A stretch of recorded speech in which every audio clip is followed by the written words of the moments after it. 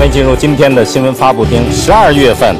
省食品药品监督管理局要联合教育、卫生、工商等多个部门，在全省范围开展食品药品的安全专项整治。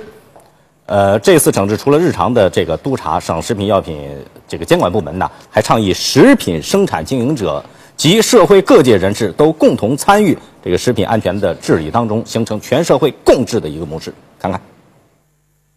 食品安全社会共治最早在今年六月提出，希望除了监管部门、生产经营者、媒体、第三方检测机构，甚至是全体消费者，都应该加入维护食品安全的队伍中。其中，生产经营者首先要严格自律，杜绝弄虚作假、以次充好等不诚信和非法的行为。政府各级监管部门应该通力合作，不推卸责任。媒体以客观的态度揭示真相，第三方检测机构以公正的态度检验食品。而消费者也不能为了贪便宜等心理纵容不安全食品的出现。今天，省内已经有六十三家知名食品流通企业签署了倡议书。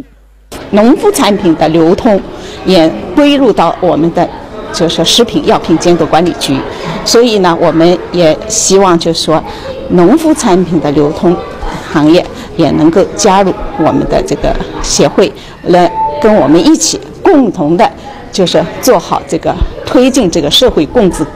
省食药监局表示，新一轮机构改革将原省卫生厅质监、工商和食品相关职责一起划入省食药监局。十月十号开始，省食药监局已经完成重组，正式履行相关监管职责。也就是说，目前除了田间地头的生产监管仍在农委，其他食品生产流通的职能已经归一个部门管理。对市民来说，如果有食品安全方面的投诉，拨打幺二三幺五或者幺二三三幺等热线都可以，最后都会归到食药监一家统一监管。